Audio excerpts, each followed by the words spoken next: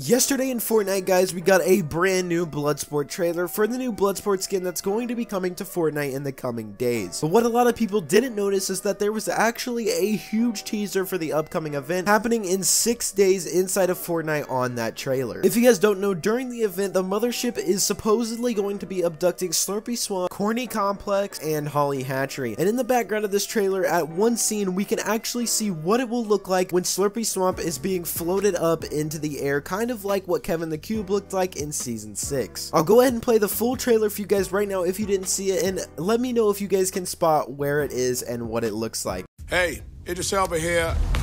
Bloodsport is coming to the island and he's playing for keeps. Lucky for you, I know this mercenary all too well. You're really gonna want to pay attention to this. His hands are deadly. Anything, and I mean anything, he wields is legally considered a deadly weapon. Just ask Superman. Guy he put in ICU with a kryptonite bullet. He's a world-class marksman specializing in brutality. What did you expect from someone who was trained by their mercenary father since birth? However, what I like best about him is his secret weapon, his high-tech and lethal suit. It allows instant access to all his arsenals of deadly weapons, perfect for your loadout. Prepare to get some dubs as Bloodsport when he drops in Fortnite on August 3rd. Boom.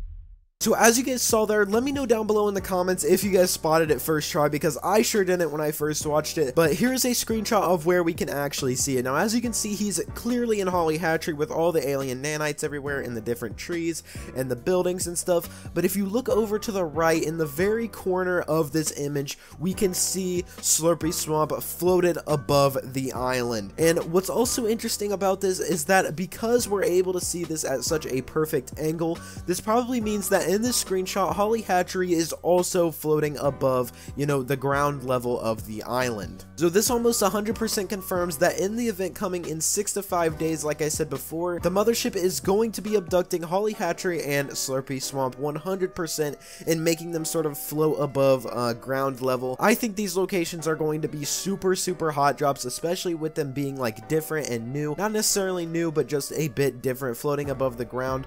I think it's going to look really, really cool and let me know what you guys think about this down below in the comments. I'm not sure how this is going to work though in the next event though, because we do have the Rift Tour going on in the next couple of days through like August 6th to the 8th, so I'm not sure if during the Rift Tour event this is going to happen, or at the end or at the beginning. We're not exactly sure when it is going to happen, but it should happen sometime in between there. So yeah guys, this is our first look at what each of these POIs are going to be looking like when they're floating above the ground. As you guys can see, it's kind of broken up into little individual individual pieces. Like I said, it is very, very similar to what Kevin the Cube looked like in Chapter 1, Season 6. So that's really cool. I love the dark sort of vibes. I love, I just love everything about that. It's so cool. It looks so futuristic and stuff. It just looks so cool to me. Let me know what you guys think about it down below in the comments. I am so, so hyped for this new event. I'm so hyped to see where this season leads us in the storyline. But thank you all so much for watching. If you guys haven't already, make sure you go drop a like on today's video. Subscribe to the channel. I'm your number one source for everything everything Fortnite.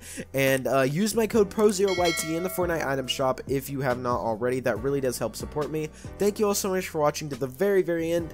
I will see you all next time. Peace.